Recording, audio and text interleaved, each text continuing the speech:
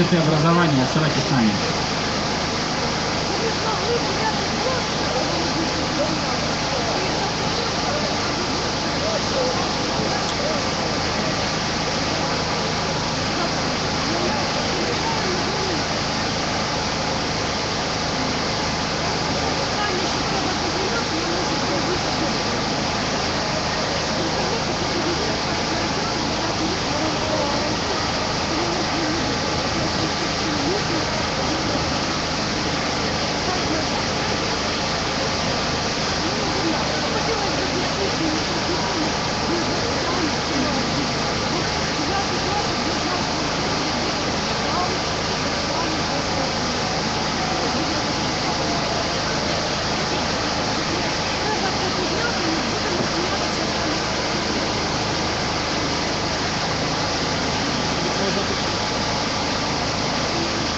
Можно начинать? Уже в эфире, да? Да. Добрый вечер. А, Сегодня я буду говорить в продолжении инноваций. Будем говорить о кон- конкурентоспособности страны, а, о том, что каждый из нас может для этого сделать. А, Тема открытых сообществ, открытого образования также будет раскрыта мною. А, Я хочу сейчас прежде всего отметить, что самый главный ресурс не нефть и газ и не индустриальные производственные предприятия. Э, Мир очень сильно меняется. Э, Я вчера говорил о том, что структура производства в мире очень сильно меняется и увеличивается доля э, сервисов, доля услуг, доля продуктов, которые связаны просто с человеком, которые создает человек, а, и это до- достаточно часто не просто материальные э, вещи, да, а именно то, что создает человек. Э, И вот я попытался сформулировать, в чем будет э, такое действительно преимущество, конкурентное пре- преимущество на мировом уровне. А, Оно может быть не, еще раз, не в газе и нефти, и не в количестве золота, а в том, насколько люди умеют быстро учиться и насколько быстро они могут применять эти знания и синтезировать новые знания. А, вот именно темп жизни сегодня, технологический темп в мире очень огромный. А, в некоторых отраслях Украина, кстати, успевает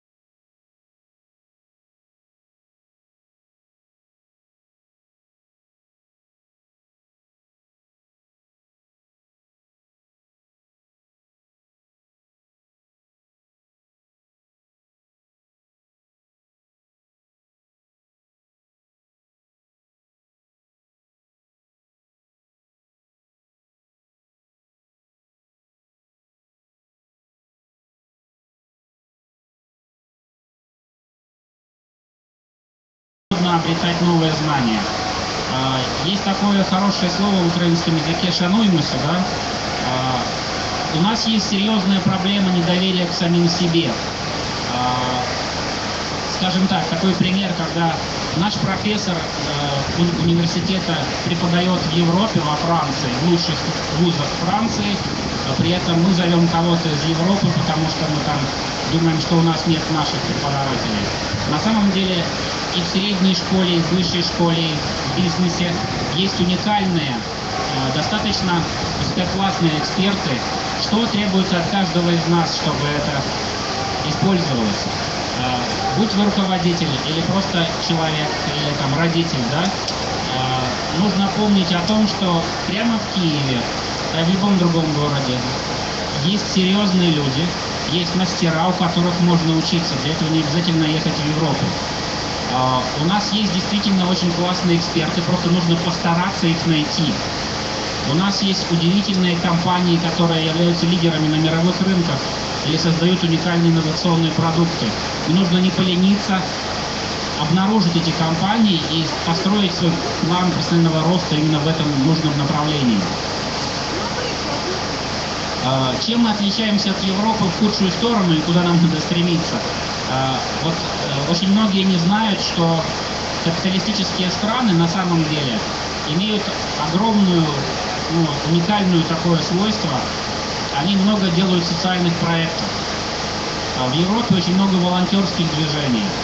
А, когда люди не за деньги, не для денег, не для своей карьеры, не для своей компании, а они осознают, что они создают что-то социально значимое для других, для всего рынка, и они тратят свое личное время на это.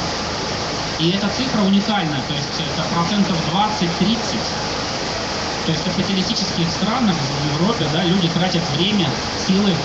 Вот то, что наш Майдан сейчас как бы отрабатывает, условно говоря, да. А в Европе каждый день люди создают ценности не только для себя. Вот это очень важный элемент а, открытых сообществ. То есть когда люди создают а, ценности, если говорить о знаниях, то знания учебный контент создают для других. Сегодня модно, я думаю, многие слышали э, или читали, э, американские, европейские вузы создают открытое обучение, создают дистанционные курсы, которые доступны, многие доступны бесплатно, и многие думают, что именно вот открытое образование, его как бы главная функция это бесплатность. Э, на самом деле э, это всего лишь один из фрагментов, один из элементов открытого образования. А, он состоит в том, чтобы действительно сделать образование доступным. Доступным по цене, доступным в пространстве и времени. То есть открытое образование предполагает, что вы можете обучаться в любое удобное для вас время. Вы можете обучаться не только будучи студентом, когда вам 20 лет, но и в 40, и в 50, и в 60, и в 10. А, то есть открытое образование не создает границ, оно призвано как раз эти границы разрушить. А, новый стиль жизни современного человека. Говорят, что это стиль жизни э, образование сквозь всю жизнь. Э, серьезные люди, лидеры, они всегда учатся всю жизнь. То есть нету таких успешных людей, по-настоящему успешных, которые бы не учились постоянно. А, так вот, э, цель открытого образования действительно сделать доступным образование сквозь всю жизнь для любых людей, для граждан любого уровня знаний, э, достатка и так далее. Но вопрос в мире, и сегодня в Украине, и в мире стоит очень остро. Э, мы сегодня очень ругаем нашу высшую школу, наше образование. На самом деле я хочу сказать, что точно так же образование не удовлетворяет сегодня американцев, еще больше даже, чем наш, наших людей. Образование, которое мы сегодня все в мире, не только в Украине, используем, оно создавалось, в общем-то, для индустриальной эпохи, и эпохи, когда создавали, собственно, людей, работающих в материальном производстве, на заводах, в военном ВПК, э, в лучшем случае ученых. Но сейчас поменялись приоритеты, и э, нового образования пока не создали на самом деле. И во многом где-то немножко искусственно сейчас за счет электронного обучения, за счет дистанционного электронного обучения, как бы вот несовершенное образование очное в вузах сегодня пытаются усилить электронным, электронным компонентом. Э, Билл Гейтс совсем недавно сказал на конференции, что электронное обучение существовало и 20 лет назад. И оно таким осталось, вот последние 20 лет особо не изменилось. То есть проблема сегодня, это ну, как бы на, на поверхности одна из проблем и задач э, обеспечить доставку контента удобную. Э, любой дом, в любом селе, это действительно уникально, что сегодня там обычный человек где-то там в селе, да, может взять компьютер, подключиться и послушать лекции именитых профессоров, изучить э, совершенно современные технологии. Но э, вопрос в том, что можно изучить совсем базовые вещи, и очень такие простые базовые вещи. А более сложные вещи, чтобы стать лидером, э, контент найти очень тяжело. И современные вузы, и американские, и европейские, и украинские, они на самом деле сейчас в большой, э, в таком затруднительном состоянии, э, так же, как и бизнес на самом деле. Да будет вам известно, что многие олигархи создают свои собственные учебные центры, потому что их не устраивает Министерство образования и то, как их оно платит людей. А, даже олигархи, которых мы не любим, это тоже делают, инвестируют в создание собственных учебных программ. А, но проблема именно в том, что мы себя немножечко недоуважаем, что контент учебный а, создавать должны не только преподаватели и профессура в вузах, где находятся самые главные знания передовые. Есть такой термин emerging technologies, emerging markets, emerging leadership. Это то, что находится на границе технологий. Это то, что бизнес переизобретает сегодня. У нас сегодня в Киеве, ну и в других городах существуют предприятия, которые создают уникальные, реально уникальные технологии, новые продукты. И именно там есть новое знание, именно там есть механизм, как эти новые знания синтезируются и получаются. И то, что должно новое образование открытое совершить вот такую революцию, мы должны совершить революцию не по потреблению контента, а совершить революцию по созданию контента. А, мы должны вовлечь, мы все вместе с вами, вовлечь бизнес, вовлечь бизнес в процесс создания учебного контента для своих же будущих сотрудников. А, при этом вузы и педагоги и эксперты могут помогать методически, но без бизнеса э, стать современными в части контента учебного ну, просто нереально. Э, в чем еще проблема? Э, что у нас действительно ну, отсутствует эта контрибуционная привычка. То есть европейские эксперты за бесплатно очень серьезно создают контент. Э, в Украине сложно уговорить человека за бесплатно делать что-то очень серьезное. А на самом деле вот это то, что нам надо поменять, чтобы люди были готовы отдавать часть своего личного времени. Но эти процессы уже идут, к счастью. В Киеве есть много софтверных компаний, которые реально готовы, люди это делают. И сейчас есть английские, кстати, э, проекты, к которым мы присоединяемся, когда создают сеть волонтерских бесплатных учебных центров для маленьких детей, чтобы учить их основам программирования. И это делается абсолютно бесплатно для того, чтобы создать движение, моду на программирование, моду на образование в этой сфере. А, так вот, если говорить о контрибуционной модели, кто является заказчиком, то есть кто может создать знания, понятно, это эксперты. А, кто является заказчиком? Заказчиком а, является на самом деле не государство. И не просто менеджеры, и не, не просто мы с вами. Заказчиком в образовании должны являться э, государство, да, если оно созрело и понимает, какие, как, за счет чего оно будет иметь конкурентное преимущество в мире.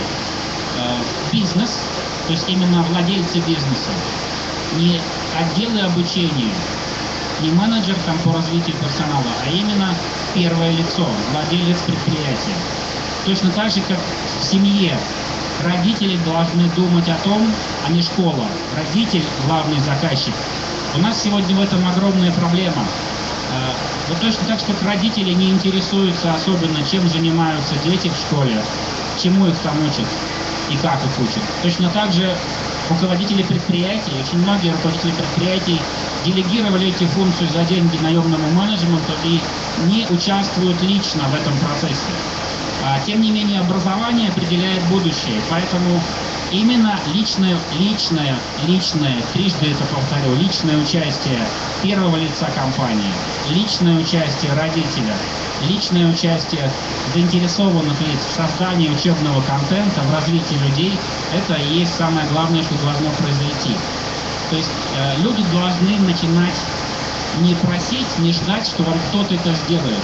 Ни государство, ни вуз вам не сделает хорошего образования или учебных курсов. То есть нужно именно тому, кто заинтересован больше всего, владелец бизнеса, или если вы менеджер какого-то бизнес-направления, вы должны сами лично позаботиться о том, чтобы создавать программы развития персонала, инвестировать в долгую. Э, вообще во многом э, конкурентоспособность за счет образования, конкурентоспособность за счет открытых моделей образования, она очень длинная игра. То есть это инвестиция в длинную. Но современные компании, очень многие, это, это уже используют. Если взять такие компании, как IBM, Microsoft, лидеры вот IT-индустрии, они очень долго и давно сотрудничают с Э, сообществами, которые создают открытое программное обеспечение. Я думаю, что все айтишники это прекрасно понимают. И точно так же неправильно многие понимают, что открытое это равно бесплатное потребление. Опять-таки, первичная модель открытого программного обеспечения, она предполагает, что э, открытые интерфейсы именно контрибуции. То есть есть правила, как я могу свой вклад вложить в общее дело, в общий контент, в общий программный продукт. Аналогично и в образовании. Открытая модель образования. Я сегодня не поленился и почитал на э, российских сайтах около государственных, что они воспринимают как э, открытое образование. Вот Россия, скажу вам, намного впереди Украины в этом смысле, но она тоже уже устарела. Э, Российские сайты говорят, что открытое образование – это когда есть единая система доступа к, к образовательному контенту с упором на единое, на стандарты и стандартизацию. Э, на самом деле первично не стандарты, а все-таки открытость модели вклада. Как бизнес, как любой из нас может поучаствовать в создании учебного контента. Э, каждый из нас, вы задумайтесь, вот если говорить об экономике будущего, а, если говорить о том, что нематериального будет 90% скоро, и это все так или иначе связано со знаниями. Ну, и материальное производство связано со знаниями, но нематериальное так точно связано со знаниями и умениями. А, когда возникает какая-то проблема или задача, ее решает в нашей стране одновременно тысячи людей. То есть у нас уровень коэффициент полезного действия меньше 1%. Что делают открытые сообщества? Открытые сообщества договариваются, кто какими задачами занимается. Они распределяют задачи, распределяют нагрузку. И они повторно используют существующий опыт. То есть лучше, чтобы не 100 тысяч человек решали одну задачу, а лучше, чтобы по 2-3 человека решали одну задачу, и мы вместе решили сотню задач, а не одну. А вот в этом есть фокус э, синергии, консолидированного вот этого мультипликации, умножения усилий, когда люди договариваются, объединяются и э, создают совместно э, знания да, и эффективно их потом используют. Если говорить о личной мотивации каждого, к сожалению, у нас у многих э, плохой, ну в среднем, у меня это хороший на самом деле, но у многих плохой опыт э, пребывания в школе и в ВУЗе. К сожалению, качество образования не очень высокое в среднем по стране. Я еще раз повторюсь, у нас есть уникальные вузы уникальные школы, но все-таки в среднем у людей отрицательный опыт общения с системой образования. И это накладывает на генотип мышления, скажем так, такой отпечаток, что люди потом, э, будучи взрослыми и работая на предприятиях, совершенно неправильно относятся к образованию и развитию. То есть они транслируют свой, свой неуспешный опыт в успешный даже бизнес и несерьезно относятся к образованию. Если посмотреть на тех же немцев, вот немецкая экономика одна из самых сильных в мире, они в кризис ни на йоту не уменьшили объемов образовательных программ. В то время как в Украине э, бюджеты на образование упали на предприятиях 5-10 раз. То есть немцы понимают, что от образования зависит будущее. Вот. Но еще раз вопрос не только государства, предприятия, предпринимателя или каких-то бюджетов. Вопрос в том, как мы лично, каждый к этому относимся. И вот есть очень простой пример. Когда вы что-нибудь новое изучаете, согласитесь, вы обычно думаете, вот я сейчас это прочитаю, изучу, мне понравится. И мало кто знает, э, как он это будет потом э, предлагать использовать другим. То есть мы очень часто обучаемся, думая только о себе. То есть мы изучили что-то, исследовали, разобрали какую-то проблему и лично собираемся пожинать плоды. Вот. Контрибуционная модель немножко сразу по-другому выглядит. Когда я задумываю изучить новую технологию, которая действительно на, на границе вот, инноваций, еще никто в Украине ее не использовал, я сразу думаю о том, как эту технологию, как эти знания я передам другим. Наши программисты сегодня делают уникальные вещи, но они это делают и учатся только для того, чтобы написать еще новые строчки кода программного, чтобы сделать новый продукт. Но далеко не все они готовы и думают о том, как передать свой опыт дальше, другим. А, вот я очень хочу, чтобы модель открытого образования стала модна среди каждого человека, каждого профессионала, когда, э, изобретая свои маленькие проекты, люди сразу думали о том, как они будут делиться опытом с другими. Э, тут очень интересный фактор, очень сложный, это конкуренция. Э, действительно, компании и конкретные люди, когда они отдают знания, они думают, иногда боятся этого, они думают, что э, мы тем самым можем потерять свою, свое конкурентное преимущество, отдав знания другим. А вот это тоже очень сложный такой выбор, это тоже выбор на уровне веры и на уровне долгосрочной инвестиции в будущее. Если я буду, это на самом деле способны делать только зрелые люди и зрелые компании, когда вы понимаете, что результатами вашего труда и ваших знаний воспользуется кто-то другой, не только вы, э, но и даже ваши конкуренты. Вот это вот нежлобскость, да, вот умение делать не только для себя, а именно повторять, отдавать знания, которые вы получили сообществу, это, в принципе, краеугольный камень вот именно всех сообществ. Мы от сообщества берем, и мы в сообщество возвращаем. То есть контрибуция вот возврат, вклад э, в сообщество, это есть основная тема, которая должна звучать. Э, в общем-то, именно на этом я настаиваю, что открытое образование – это не только открытое потребление, но и открытое созидание. И я очень хочу, даже можно привести пример с нашим Майданом, э, когда создаются общественные организации, и никак, когда вы не совсем знаете, как туда можно Э, сделать свой вклад, вот тогда вам страшно.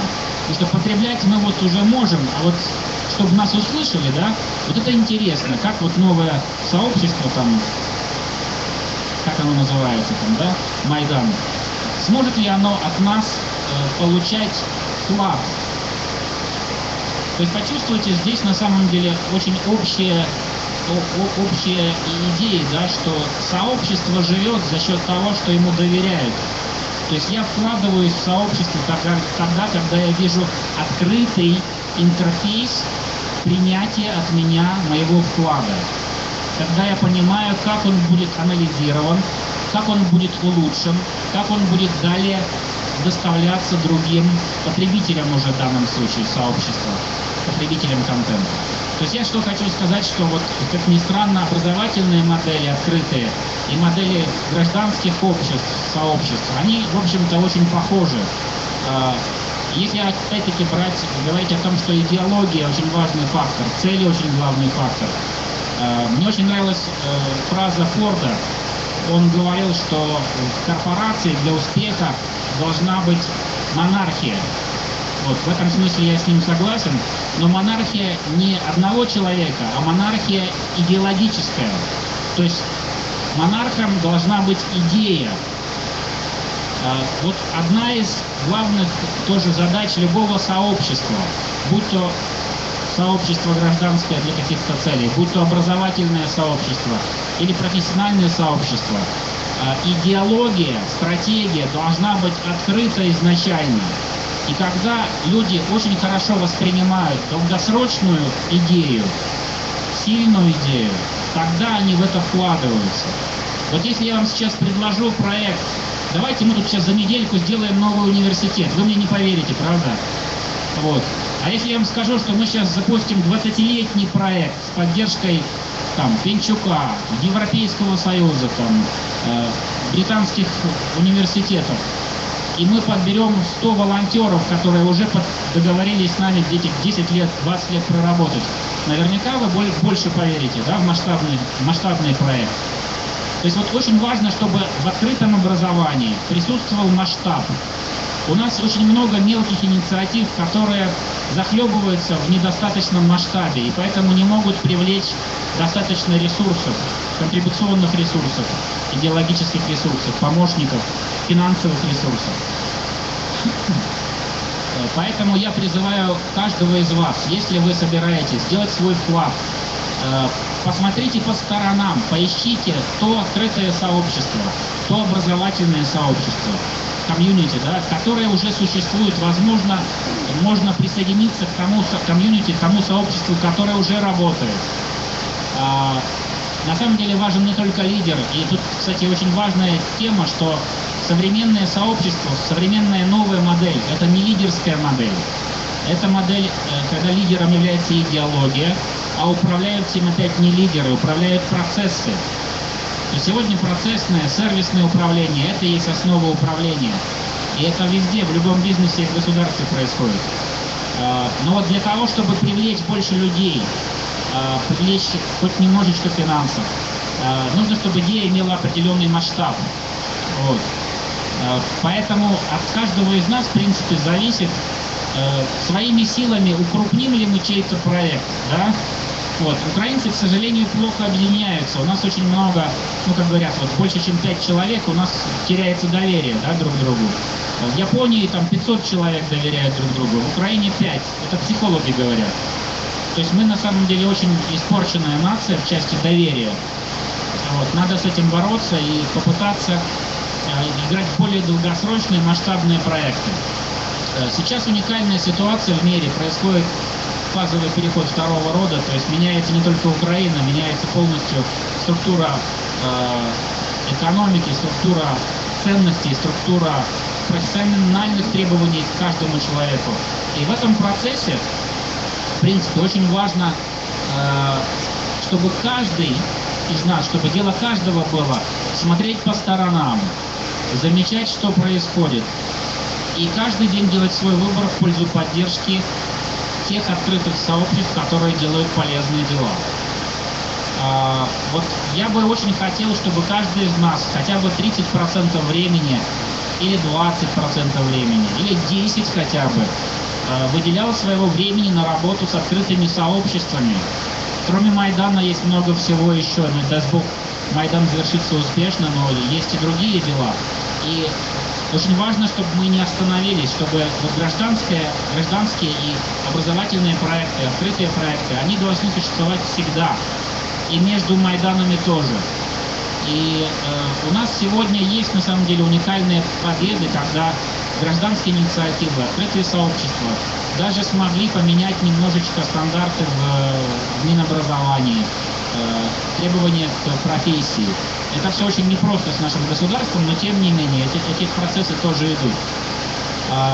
Независимо от власти, какая она была, будет или, или не будет, а, в любом случае а, открытое сообщество – это тренд. А, один из самых богатых людей в мире сегодня, Билл Гейтс, я думаю, все его знают, тот человек, который создал Microsoft.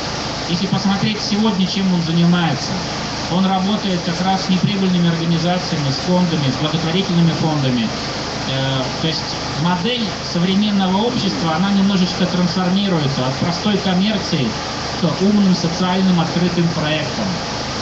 А даже вот Билл Гейтс поддержал проект открытого сообщества медиков. То есть медики фактически, да, они очень ограничены своим протоколом работы по стандартам. А в то же время некоторые ученые стали замечать, что очень важно успевать общаться друг с другом, чтобы заниматься инновациями, обмениваться знаниями. Вот Билл Гейтс это заметил и поддержал этот проект. Представляете себе несколько тысяч профессоров, э, врачей, да, они обмениваются своими знаниями совершенно в новой модели. Э, независимо от своих больниц, они по новой вообще работают. То есть они в этой социальной, э, в своем открытом сообществе да, обмениваются опытом и знаниями. И это уникальная, ну фактически это вот уникальная модель будущего, да, которая зарождается. Э, общество может гораздо больше, чем мы думаем. То есть на самом деле вот у нас в Украине мало, а в Европе много, я уже говорил, волонтерских движений. Я думаю, что в этом году в Украине волонтерство вырастет раз в 10.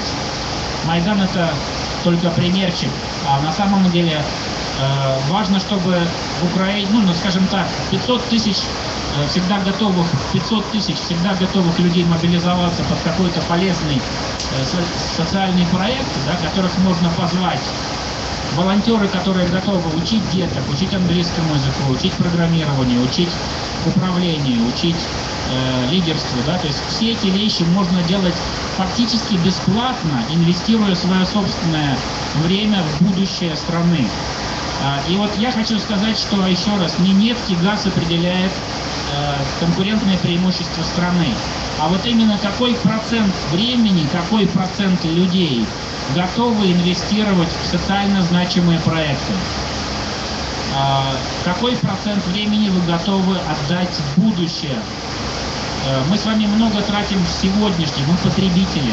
На самом деле, э, вот я говорил о втором фазовом, фазовом переходе второго рода, когда все меняется. То есть завтра может исчезнуть деньги, послезавтра государство в старом их понимании. А мы будем не готовы. Вопрос, вот успеем ли мы подготовиться, да, вот быть гибкими и так далее. Так вот, волонтерские движения, на самом деле, это в каком-то смысле модель будущего.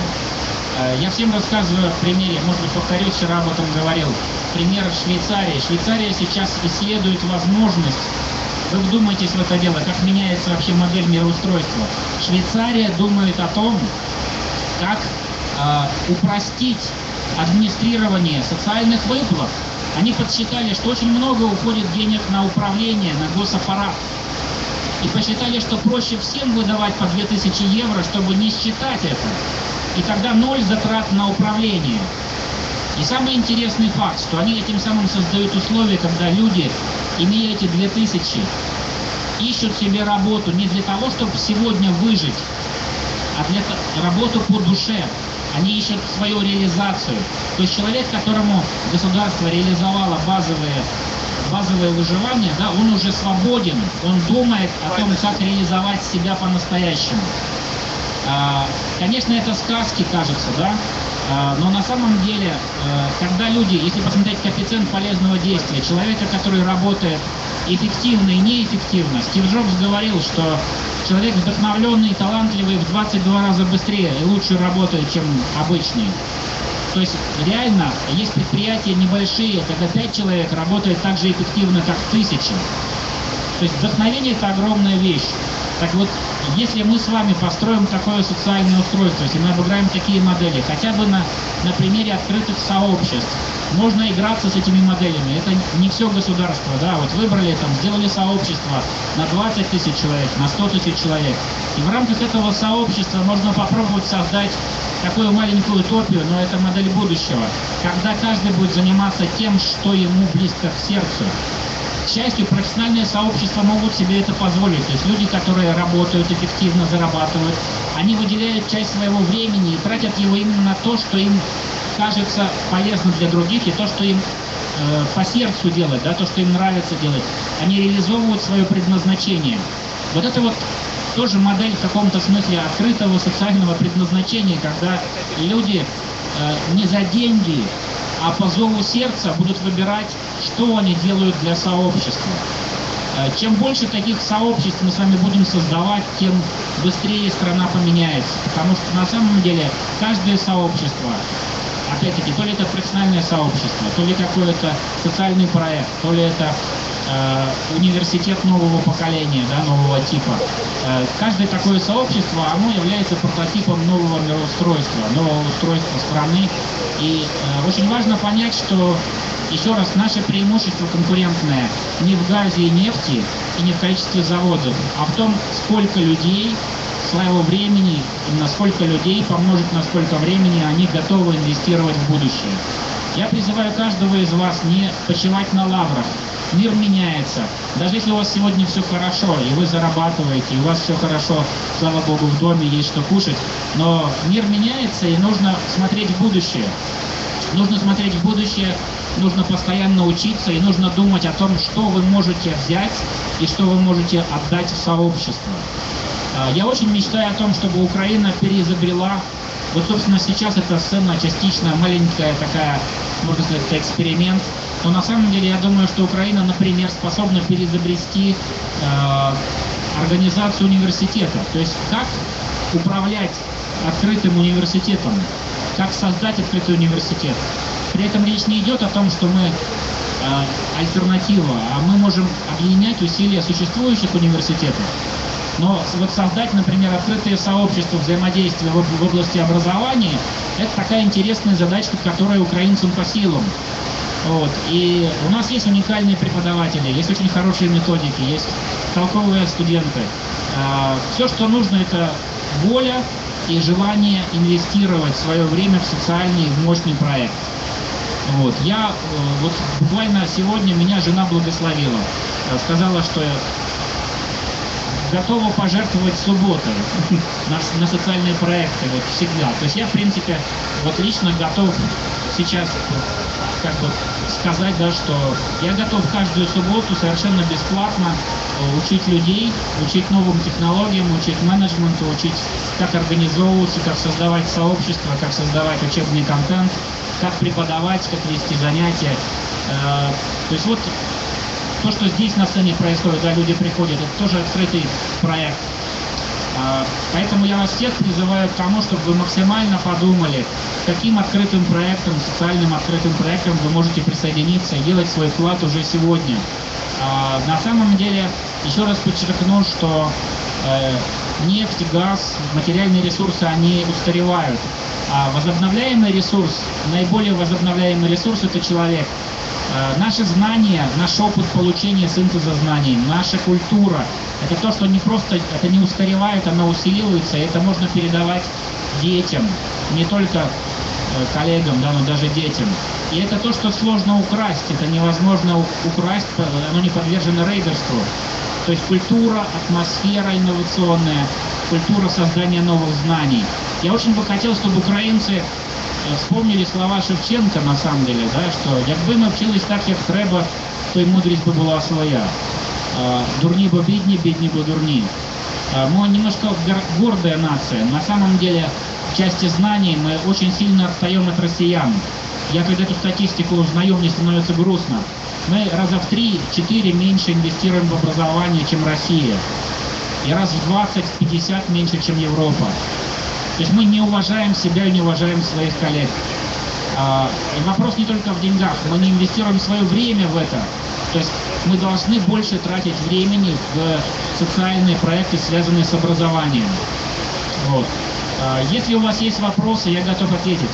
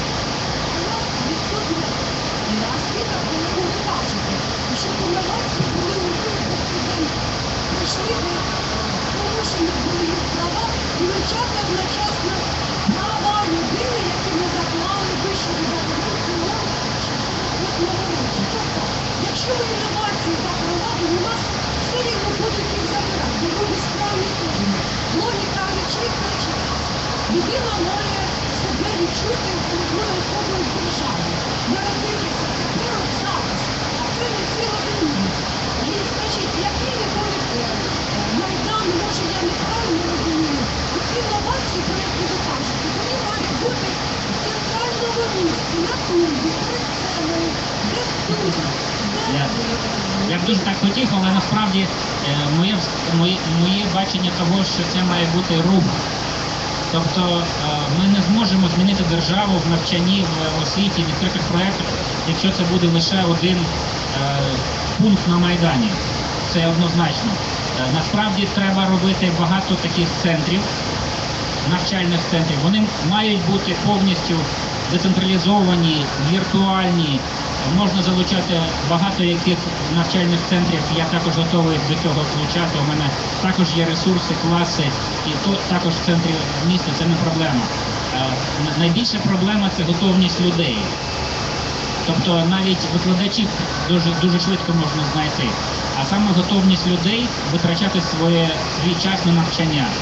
І у нас є велика проблема з середньою школою. Е, Там у, у дітей нема часу. Тобто міністерство міністерство наше забрало в людей повністю час.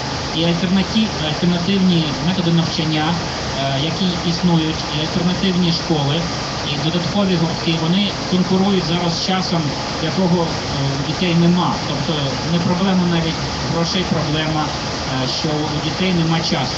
Тобто перший крок, що треба зробити, це треба, треба починати навіть не, з дорослих, треба починати з школи, щоб там е, були альтернативні е, тренінги, що, що, що важливо, формують гро- гро- громадянина. Це, це не вуз, це не вуз і це не, не дорослі люди. Це треба робити з, першого класу.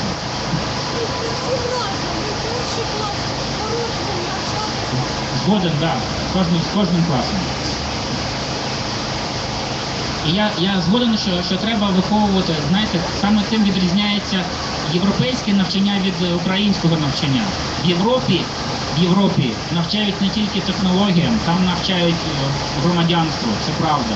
Там навчають відповідальності, це правда.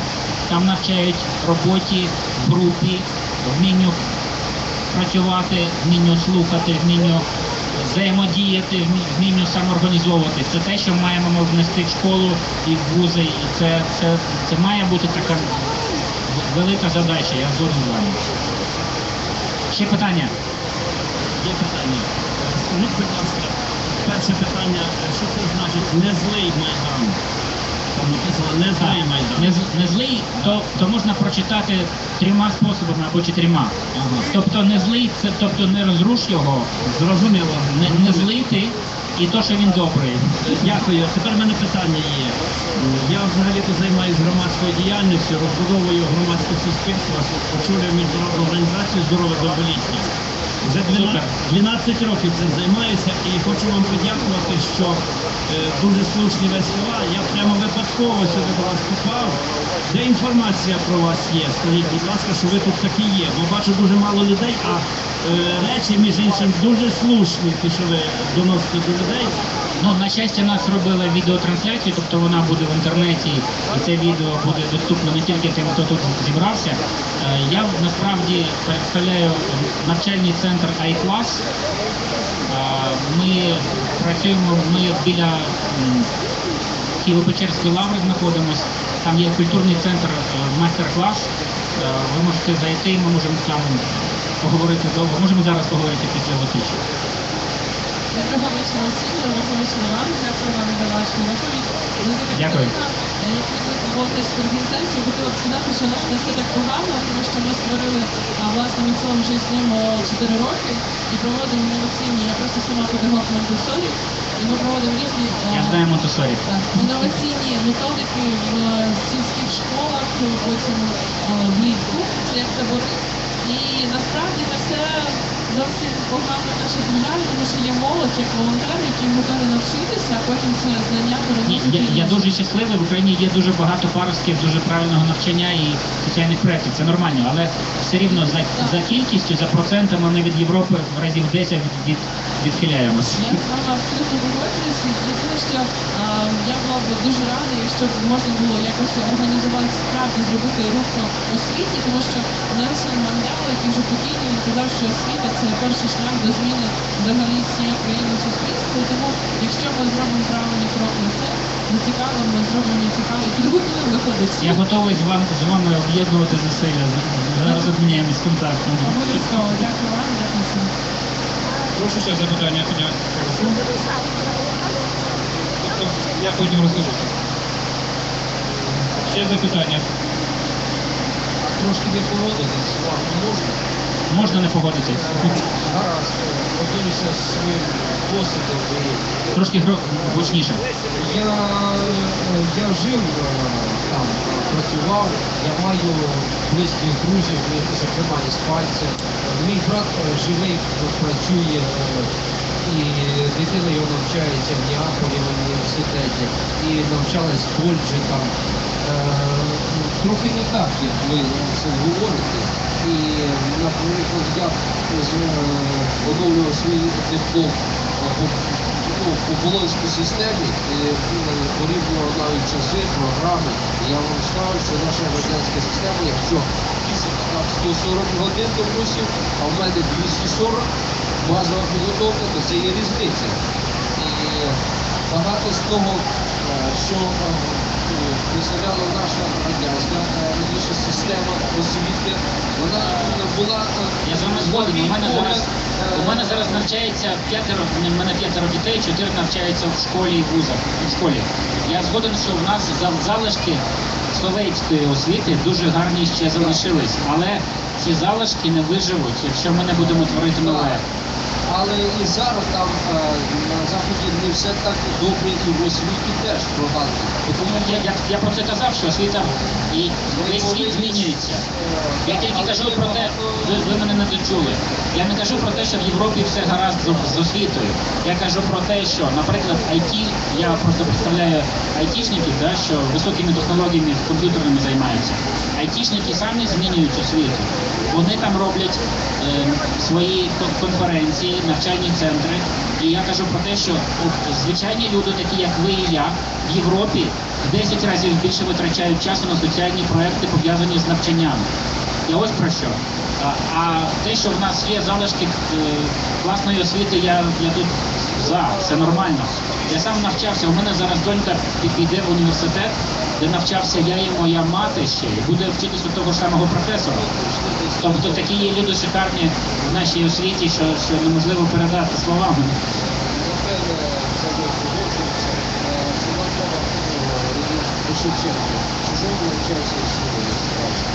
Тому що в нас, е, якщо до того, що ми е, вибачаюся, е, ми е, повторили, напевне, помилку того, що він був е, до основання все розрушив, а затем от не треба було до основання все розрушати. Е, Тому що треба було своє розбудовувати, рухатись і жити своїм розумом, а не то, що скажуть в Вашингтоні, що хочуть в Москві. Я скажу, ми, ми, ми багато часу витрачали на е, моде- мо- моделі майбутнього, да, як, як зрушити, як змінити навчання, освіту нашу. І ми дійшли до висновку, що не можна розрушати. Треба е, рядом, поруч, створювати нове, нові способи навчання, нові інституції. І е, той, хто буде кращим, то, то ресурси і люди будуть перетікати. Це нормально. Тобто освіта, слава Богу, її, вона гнучка, її можна створювати поряд. Це не банківська система, яку не можна чіпати, так?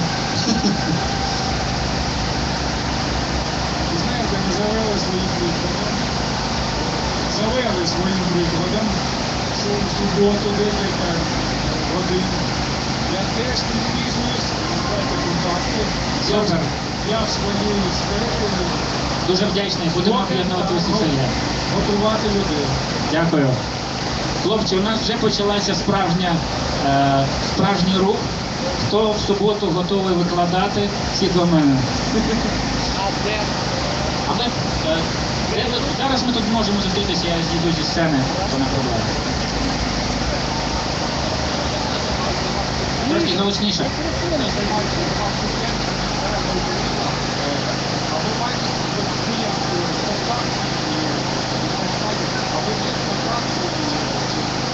В Фейсбуці є соцмережі. Ви хочете контакт отримати? чи є ви в соцмережах, як? Так, в соцмережах дуже просто до мене знайти. Ігор, англійською мовою Ігор, і потім три буквочки, три символи Пал. Пал Сікан, знаєте? Ігор Пал. Фейсбук Ігор Пал. Ігор Павло, у вас сьогодні буде 20 запитів на, на дружбу. Так. Ще запитання. Прошу, чи є запитання? Є. Скажіть, будь ласка, от я мала такі відомості, що Полтавщині школа була, де вивчали е, ну, за допомогою організаційної діяльності дітки самі сиділи, стояли, ходили, щасливом кишені, сонце не творили. І чому нас посипалося по всій Україні, як ви до організаційної діяльності дітей відноситесь до Росії саме на Подолжі, там і сім'ї навчалися по суботах, тобто діти ростуть, і батьки теж для нами мають рости. І що нікого в цьому напрямку, якщо ви знайомі, то чи є компанія українська, яка е, об'єднана в цьому напрямку, якось треба цю Я скажу, тут велика проблема. е, Фізіологи, медики і Росії, України, і Європи 200 років вже вивчають і 200 років кажуть про те, що ми вбиваємо своїх дітей в навчанні за партою. Ми вбиваємо в них е, самосвідомість, інноваційність е, стандартними прикладами і роботі формальною за стандартними схемами. Тобто, е, взагалі навчання за партою і за схемами це неправильно. Але для того, щоб це змінити, я скажу тут дуже нормальний спосіб. Це коли створюються нові школи, вони в нас є, їх небагато, але вони є. Але треба, щоб Міністерство освіти е, їх, їм не заважало працювати. Міністерство освіти розламувати не треба. Треба в них попросити е, м'якого невтручання. Раз. А потім трошки зменшити, як в нормальних странах. Е, там е, міністерство або якісь спец, ну, спеціальні є, є, є мінімум, який держава має. Е, може контролювати в кожній, е, в кожній школі, але цей мінімум має бути десь 30% часу, а інші проценти мають бути сплановані е, згідно до того, як вважає громада, тобто самі е, батьки і, і громада. І це дуже важливо, щоб ми з вами зробили цю, е, цю зміну в школі. Якщо всі батьки об'єднаються і будуть е, думати, думати своєю головою, чим навчають і чого навчають їх дітей, то ми також змінимо систему навчання. Я скажу, що в мене велика проблема, я навіть в конкретному в своєму класі не можу е, змінити думку е, своїх колег, е, батьків.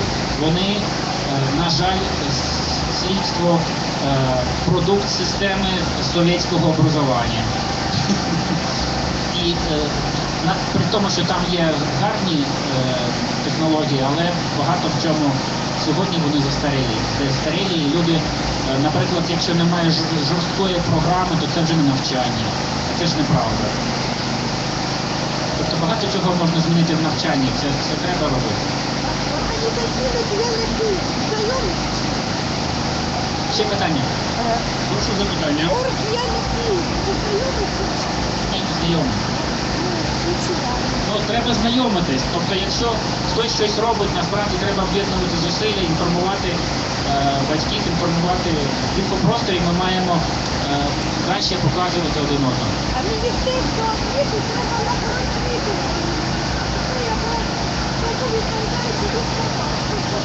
Взагалі краще, щоб Міністерство освіти не було. Міністерство освіти, так же як Міністерство культури, це нонсенс в сьогоднішньому світі. Е, Це просто нонсенс. Не чую. Як, як ви відносите до тверезості? Громадський рух Твереза Україна. Як ви відносите до тверезості? Ну, тверезість це гарно, але трохи вина випити іноді можна. Ви не згодні. Ви не згодні? Ні. Ні, я не проти тверезості. Можна зовсім вести тверезий образ життя, взагалі тверезий. Це не проблема. Це нормально. Ну, а як думку робимо там перед себе, то резюме наших студентів було. Тобто інформація про цей це зробити, щоб тут вирішили, зробили отаке, що не все, і як не Я, підскажу нашим організаторам, щоб якісь були висновки з е, виступів? Чи, чи знаєте ви приклади успішних е, державних підприємств, традиційних і які е, впроваджують процесне управління, управління інноваціями і тому подібне? Я скажу, я знаю ну, принаймні дві компанії. Е, Мотор Січ, е, яка дуже багато допомагає університетам в Запоріжжі. Вони досить інноваційні, вони дуже на високому рівні за, європейськими стандартами працюють і навіть вище. Е, Я знаю в Харкові компанію UPC Group, яка робить біля близько 10% світового, світової кількості холодильників. Світової. Це українська компанія. Вони реально займаються інноваціями кожен день. Вони збирають своїх співробітників з усього світу. Е, Вони з'їжджаються тричі на рік і вони дуже серйозно вкладаються в освіту, в інновації, в процесний менеджмент е, і так, далі. Тобто в Україні є нормальні компанії світового рівня, що, що правильно працюють. Багато банків, е, які дуже ретельно вимальовують процесне управління. Е, Я скажу, що дуже нова така тема це сервісне управління. Також зараз дуже розвивається в Україні. Сервісні компанії і ну, IT тут дає інжекцію е, в не IT компанії навіть, коли е, механізми, технології з інформаційних технологій впроваджують в бізнес-менеджменті. Я хочу порадувати вас, що Міністерство освіти вас почуло і розвело двох здорових акта списками на горі захищається. Раніше такого не було. Там я посадила з міністрів відросту, але отакий захищений паркан. Більше, ніж у військових. Так що Будемо надіятися, що це перший крок до ліквідації Міністерства культури. Как вот по вашему мнению, плохо слышно, да? по вашему мнению, в какую все-таки э, страну вот, превратилась бы Украина в случае, если бы удалось присоединение к Евросоюзу? Это что, индустриальная страна все-таки аграрная? Э, Я скажу, что э, я против э, такой мысли присоединения. Я больше вижу идею, мне хочется в это верить, что Украина может переизобрести смысл существования Европы. То есть это еще кто к кому будет присоединяться. Э, На самом деле у украинцев уникальная ментальность, мы соединяем сердце и разум лучше, чем европейцы, чем немцы, например. Э, То есть мы, мы, мы вполне, вот Силиконовая долина, американцы считают, что мы одни из лучших инноваторов в мире. То есть сегодня уже китайцам и индусам э, они хотят делать вид, что они из Киева. То есть на самом деле у нас сейчас очень высокий рейтинг, и Европа может от нас получить абсолютно новые инновации в социальном устройстве, в новых технологиях, в когнитивных технологиях. У нас есть уникальные ученые. То есть я не склонен видеть нас ну, какой-то только аграрной или только индустриальной стране. Индустриальным лидером быть уже поздно однозначно. Мы Китай не догоним. Если вы заметили, э, американцы не собираются с ними даже спорить в этом деле. Ну, Apple в Америке, да, не в Китае. Э, У нас есть компании, которые как бы инновации создают на мировом уровне, поэтому нам незачем, в общем-то, кому-то присоединяться, и нас не зовут присоединяться на самом деле.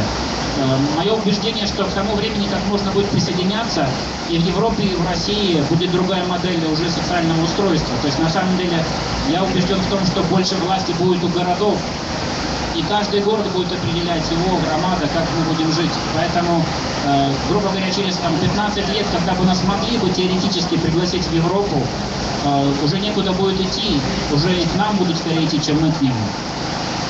У нас на самом деле уникальный ресурс, если прямо вот сегодня взять Украину, у нас есть две отрасли, которые, три отрасли, которые э, работают с плюсом и растут даже в кризис. Это информационные технологии, это сельское хозяйство и фармакология, медицина. То есть вот если в эти три отрасли успешны прямо сейчас сфокусировать усилия, вот, через какое-то время дальше в машиностроение, то, в принципе, э, у нас очень хорошая сбалансированная экономика получится. То есть нам незачем упрощать себя какими-то стандартами европейскими.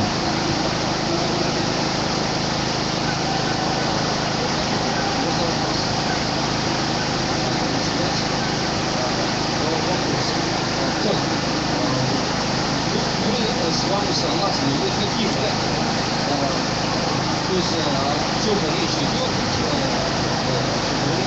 да, мы следуем согласно, мы расположены к этому, мы готовы двигаться к этому направлению. А вот э, если у вас, кон- если у вас контакт с нашим, э, с нашими оппозиционными лидерами, куда мы будем двигаться? У них есть ин- интерес к э, темам, о которых мы рассказываем? Э, Я, вообще-то мне это все равно, я скажу Они честно. Вот на самом деле Новый тренд в мире состоит в том, что не нужно ждать лидеров. Вот если мы говорим про открытое сообщество, про образование, мы должны брать и делать сами, объединяться и делать. Нам не нужно ничего от, от- от, э, власти. Власть вообще не должна влазить в, в образование, по большому счету. Вот когда мы начнем управлять образованием, это будет наша победа. Я не хочу там видеть никого из э, оппозиционеров и никого из власти, в принципе. Власть не поможет образованию. Посмотрите на Америку и на Европу. Они не могут инвестировать в образование. Это люди, это вот каждая семья инвестирует в образование, прежде всего. Э, Реально сообщества могут гораздо больше, чем большая компания или даже государство. Я очень э, рад вот этому вашему направлению. Я думаю, что нашим людям надо вот такое мышление поменять, что не власть решает их судьбу, а они сами решают, объединившись свою судьбу. Конечно, да. Спасибо вам большое. Да, я скажу, что напоследок вот есть пример, когда четыре семьи подумали, как у них дети будут где учиться. Они взяли, объединились и сделали школу.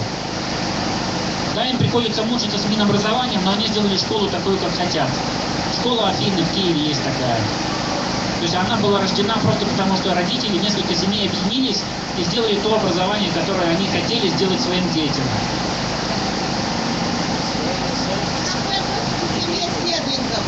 Что?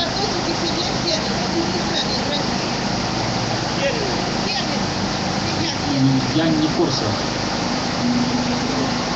Є ще запитання?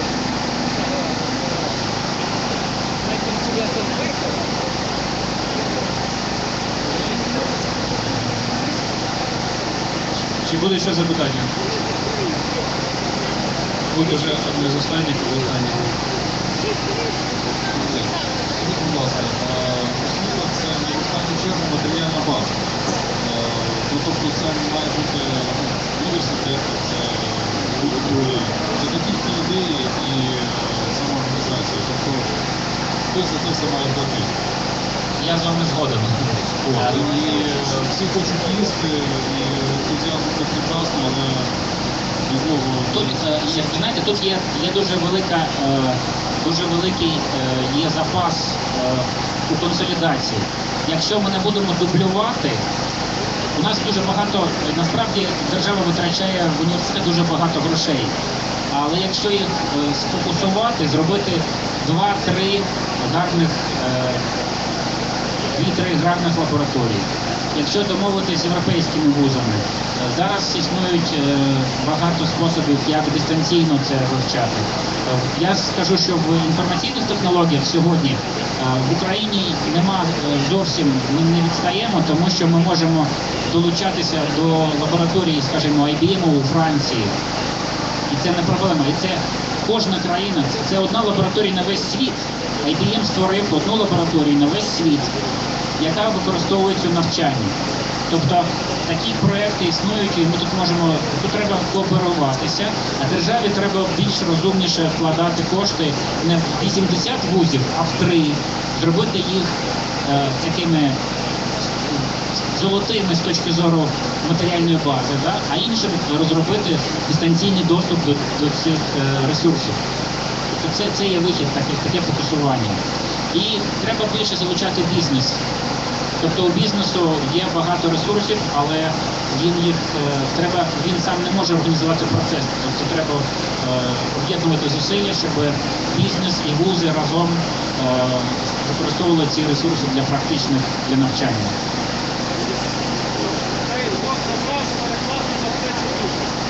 А насправді я скажу так, що бізнес у нас дуже хитрий. Бізнес хоче, щоб за, за гроші е, держави йому зробили готового спеціаліста. Це, це вже е, не вийде, тому що е, індустрія дуже змінилась. Зав- зав- Завдання держави інвестувати в середнього експерта, але у бізнесу дуже спеціальні потреби, і він має інвестувати в спеціальне навчання під свої потреби. І це це реально має місце, це нормально. Але тут, тут, тут дуже важливо, щоб люди робили правильний вибір також, тому що у нас є проблема, що ті, хто мають ресурси, вони вкладають свої гроші в університети в Англії. І навіть спонсорують не тільки за навчання платять, вони мільйони тратять на те, щоб підтримати університети в Англії. Але цього не цього не робиться в Україні. Ну дуже мало хто, хто інвестує свої гроші е, з меценатів е, в наші вузи, тому що вони не вірять, бо немає прозорості, немає відкритої моделі. Тобто треба створити хоча б один прецедент відкритого університету, куди всім світом, всією Україною ми можемо інвестувати, і в тому числі в е, гарну базу. Але я скажу, що в ІТ, наприклад, в інформаційних технологіях, там база це недорого і це, це досить просто. Складніше в фізиці, в нанотехнологіях, там це набагато складніше. А ви вірите, що математика в цьому допоможе? А математика це універсальна така наука. Е, І у нас математика дуже добре викладається в школах. Е, Тобто в математиці ми зараз дуже добрі.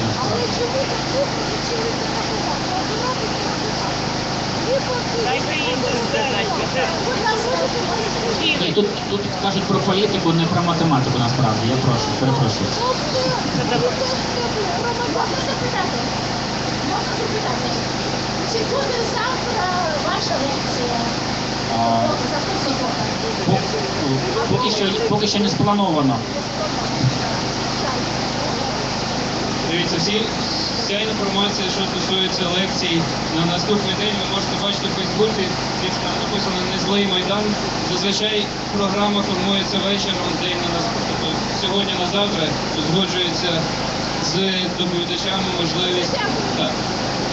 Раніше не вдається, тому що ну, постійно життєві історії кожного викладача різні. Остаточно викладається вже аж пізно вечором. І зранку розраховується. Е, Чи буде ще до доповідача запитання?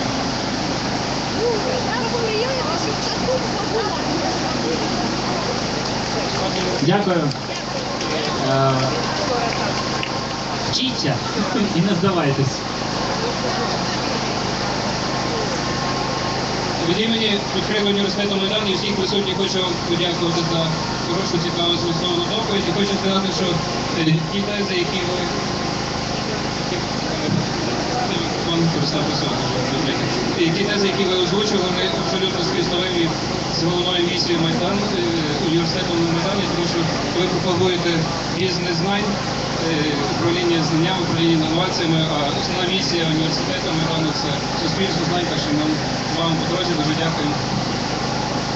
Е, Буквально через декілька хвилин на сцені відкритого університету Майдан буде показ фільму про Путінайт. Не розходьтеся.